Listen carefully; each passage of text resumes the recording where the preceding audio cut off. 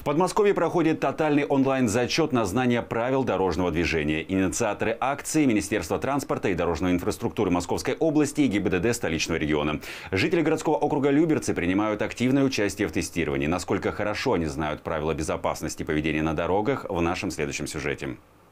20 вопросов и 20 минут времени. В онлайн-тесте задания на знание дорожной разметки, парковки, проезда через перекрестки или пешеходные переходы. Подмосковье – первый регион, где проходит подобный виртуальный экзамен.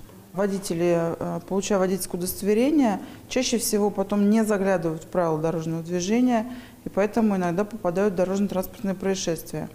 А, для того, чтобы вспомнить э, и повторить правила дорожного движения, было организовано, инициировано проведение вот такого онлайн-зачета по правилам дорожного движения.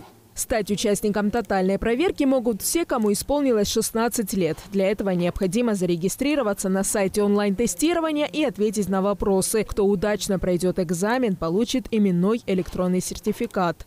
Результат у меня наилучший, 20 из 20, по времени около двух минут у меня получилось. Я уже обучаюсь э, третий месяц, э, соответственно, поэтому правила дорожного движения уже все знаю, и поэтому для меня все было максимально просто, э, ничего такого сложного нет, если ты элементарно просто знаешь правила дорожного движения.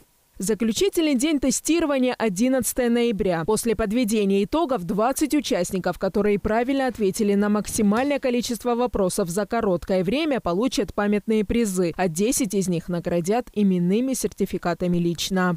Луиза Игиазарян, Сергей Гвоздев, телеканал ЛРТ.